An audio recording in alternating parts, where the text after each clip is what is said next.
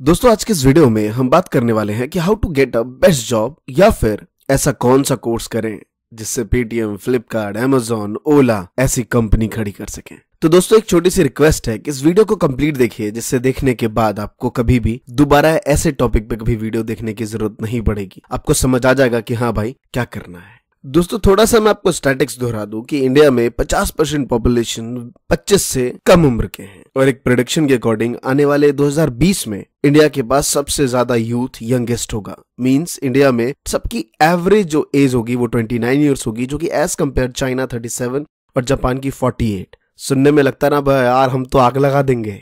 लेकिन साथ में इसका दूसरा पहलू ये भी है कि आने वाले टाइम में अनएम्प्लॉयमेंट कितनी बढ़ जाएगी? बेस्ट की होड़ लग जाएगी। और मैं आपको बता दूँ कि ये राइट है कि आज के डेट में एनडीटीबी की एक रिपोर्ट के मुताबिक इंडिया में 50 परसेंट ग्रेजुएशन करे हुए स्टूडेंट बेरोजगार घूम रहे हैं। और इंजीनियरिंग कोर्स में बताऊँ तो 100 में से 80 स्टूडेंट अनएम्प्लॉयड हैं। तो इससे क्या समझ आता है? इससे ये समझ आता है कि सिर्फ़ स्कूल जाने से पेपर देने से आपको डिग्री मिल सकती है जॉब नहीं। जॉब मिलने के लिए भाई कुछ अलग करना पड़ता है। क्योंकि दसवीं कर ली, बारहवीं कर ली ग्रेजुएशन कर लिया, अब क्या करें? वो कहते हैं ना कि सिर्फ़ ईट जोड़ने से घर नहीं बनता, उसके लिए एक स्ट्रक्चर की ज़रूरत होती है। अगर सिर्फ़ पढ़ते चले जाओगे तो क्या होगा? पढ़ते ही रह जाओगे। अगर एक सिस्टमेटिक वे में आगे बढ़ोगे तो आई एम श्योर बहुत बिग क्रिएट कर पाओगे। तो फिर बात आती है कि इसका सॉल्यूशन क्या है? इसका सॉल्यूशन दो रास्ते हैं। पहला, सबसे बेस्ट प्रोफेशनल बनना और दूसरा सेल्फ एम्प्लॉयड दोनों चीज़ों के लिए आज के डेट में आपको आईटी प्रोफेशनल बनना पड़ेगा। अरे, कभी किसी ने सोचा था? घर के बिस्तर में सोते सोते मोबाइल फ़ोन के ज़रिए लाखों और करोड़ों का सामान घर में मंगवा सकते हैं। लेकिन ये सपना देखा, सचिन बंसल और विनय बंसल ने। और वो सपना इसलिए साकार हो पाया क्योंकि वो एक आईटी प्रोफेशनल थे। मालूम था कि टेक्नोलॉजी का आइडिया भाई कंप्लीटली है। और जब विजन क्लियर होना तो बंदा रुकता नहीं है और ना ही चलता है। दौड़ने लगता है उस टाइम। उसको मालूम है कि आने वाले पाँच साल बाद मैं उस स्टेज पे रहूँगा। पेटीएम के फाउंडर विजय शेखर। दस रुपए के ऑनलाइन रिचार्ज से शुरुआत करके आज खुद का बैंक खोल डाला। सिर्फ़ किस लिए? क्योंकि वो एक आईटी प्रोफेशनल थे। मालूम था कि भाई कैसे करना है। अमेजोन के फाउंडर जेफ बेजोस दुनिया के सबसे अमीर आदमी। उनके लिए कहा जाता है कि ना दुकान, ना वेयर हाउस और बन गए दुनिया के सबसे अमीर आदमी।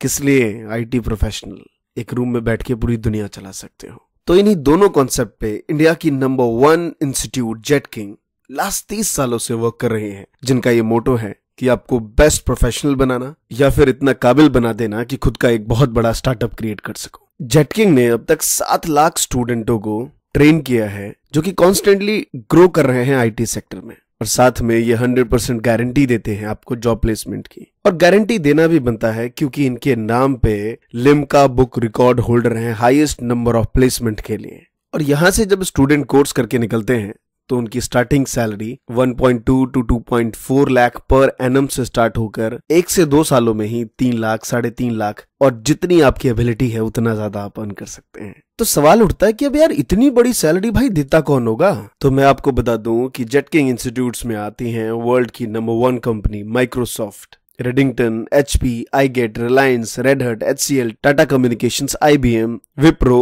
योगी ऐसी कंपनी में आपका प्लेसमेंट होता है। तो छोटा सा एक और सवाल उठता है कि सर, टेक्नोलॉजी का आइडिया तो हो जाएगा, मानता हूँ कि 80 परसेंट प्रैक्टिकल और 20 परसेंट थ्योरी करवाते हैं, जिससे हमें टेक्नोलॉजी के बारे में ज़्यादा नॉलेज मिल तो जाएगी, लेकिन इतनी बड़ी कंपनी के सामने बोलने में हिचकिचाहट बहुत होती है।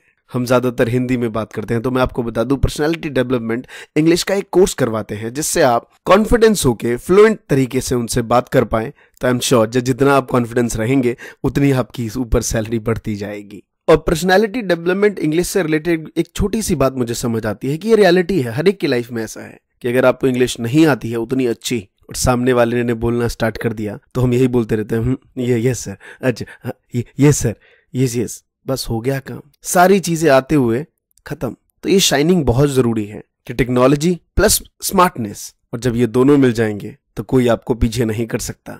और साथ में ही जेटकिंग के हंड्रेड सेंटर्स हैं, जहाँ पे आपको हंड्रेड परसेंट प्लेसमेंट की गारंटी दी जाती है। और इन सब बातों को एक वर्ड में जगाने के लिए एक ही लाइन कहना चाहूँगा आप सबके लिए, कि अभी तुम सो रहे हो तो इस टाइम कोई ना कोई जाग रहा होगा, और जिस दिन वो तुमसे मिलेगा, वो जीत जाएगा। और दोस्तों, साथ में मैं आपको बता दूँ कि जेटकिंग को कंप्यूटर एजुकेशन के सेक्टर में, आईटी सेक्टर में कई अवार्ड्स मिले हुए हैं, और इनका ऐसा खुद का मानना है कि स्टूडेंट को ट्वेंटी वन सेंचुरी के अकॉर्डिंग पढ़ाना चाहिए। वो कहते हैं ना कि किताब से कम और दिमाग से ज़्यादा पढ़ाना चाहिए। और साथ में इन, इनके पास, इंडिया के टॉप बेस्ट फैकल्टीज हैं। और इन सब की ज़्यादा जानकारी के लिए डिस्क्रिप्शन में दिया हुआ लिंक है, उस पर क्लिक करके जाइए। उनके एक्सपर्ट्स आपको आराम से पूरी डिटेल में समझाएँगे। और दोस्तों लास्ट में सिर्फ़ एक ही लाइन कहना चाहूँगा कि आज के टाइम पे आईटी सेक्टर पीक लेवल पे नहीं है, बहुत इनिशियल लेवल पे है। इसको ग्रो करना बहुत बाकी है। सारी चीज़ें ऑनलाइन हो रही हैं। तो आने वाले टाइम में जब इसका एक बहुत बड़ा सेक्टर होगा तो उस टाइम आप टॉप लेवल पे होंगे और इस चीज़ का आपको बहुत गर्व होगा। तो आई एम श्योर आपको इस वीडियो से काफ़ी कुछ समझ आ गया होगा। धन्यवाद दोस्तों। जय हिंद, जय भारत।